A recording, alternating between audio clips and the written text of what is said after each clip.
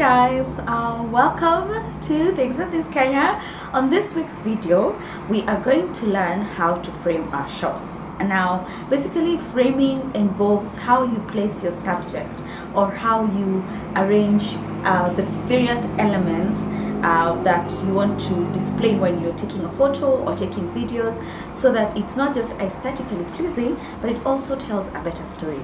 Uh, do you ever sometimes take photos and you feel like it's not appearing the way you wanted it to or people are paying attention to the things that you didn't want them to notice. Maybe you wanted to be uh, the focal point you wanted them to notice an outfit or jewelry or something and instead they're looking at other things like uh, say the photos in the, in the background or seats or something and it can be very annoying. So i'm going to just teach you a few tips on how you can frame your shots so that you take beautiful photos and videos. Okay so number one the we have a rule in uh, videography and photography called the rule of thirds. So basically it's uh, when you're using a camera you find uh, that when there are times you, you you're using it and there are these grids that appear like on the screen is what you can look at right now. And because when you're using a phone for instance you don't have that luxury um, you can just imagine that there these lines exist on your screen. And the idea is to have the subject or your focal point appearing in, uh, where the lines meet at these points okay? And so that way people will be naturally drawn to look at the subject at what you want them to focus on okay so that is the rule of thirds. However rules were made to be broken. Oh sorry yes before i go there okay so now the rule of thirds is usually used uh, in um, uh, interviews. Like when we're doing interviews usually we, we always use the rule of thirds. And the reason that we do this is because we want people to pay attention and focus on the person that's talking and listen to what they're saying. So that's where we normally use the rule of thirds. So the other thing that you need to consider when framing your shots other than what you want people to focus on is your surrounding one of the things that makes a, a photo beautiful is the background. For instance, where I'm standing right now, so there's a couch, it has nice pillows, there's a window behind me, curtains, then there's uh, photos on the wall. Uh, there's a bracket light which can't be fully seen because for framing my shot you have to also consider how the distance between up where the uh, shot begins and where the subject uh, starts so think about that when you're framing your shot and think about what else is around you that would you like to showcase? It could be a beautiful space. You could be outside and you're taking a photo and maybe uh, you're at a park and there are animals behind you or uh, you are at a pool. You are um, say when people go to uh, to the beach for instance and you want people to see the beautiful sea and the waves.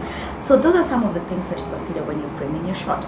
So always think about it. So for instance when you look at the this this video there's this uh, tower and there's this light light tower and you want to focus on it but you also don't want to deny people to see the beautiful surroundings uh, the, uh, of where it's positioned and also give people an idea of where it is. So instead of just doing using the lower third rule and focusing on it alone you also take you, you show it but you also take a little bit more of where it is and what's happening around it. And that makes it more aesthetically pleasing. Fantastic. The other thing that you need to consider when framing your photos is what we call the headroom. The headroom is the space between where the shot starts and where the subject begins. So for instance look at me. So this is me right now let's change this shot so that you see how that would affect how I appear on camera. So changing this shot and um, increasing the headroom and by the way I'm tiptoeing makes it uh, me not the fo focus of this video right now because it's like I'm just th there's more attention to what's happening behind me the photos uh, the cuttings everything except me. It's like I'm screaming for attention. So that's one why you should always consider the headroom and make sure that you place it correctly. So this right here is perfect. This is ideal headroom because now I am the center of attention great fantastic. So the other things that you, you need to consider when taking a photo or video is something that we call foreground. Um, because there are times when you take a photo and the subject is so far behind people are seeing so many like either empty space or so many other things happening in front like between where the subject is the focal point is and where everything else is happening. So that's the other thing so you don't want your picture looking anything like this. Instead you want to adjust it so that it looks something like this. Great fantastic. So those are a few things. And then also feel free to have fun play around but don't forget that when we do videography and when we do photography we always have a story to share. So good luck as you take your photos. Now you know how to frame your photos and you should be able to take beautiful visually appealing photos that tell the story that you want to tell. Thank you so much for watching. Until next week kwaheri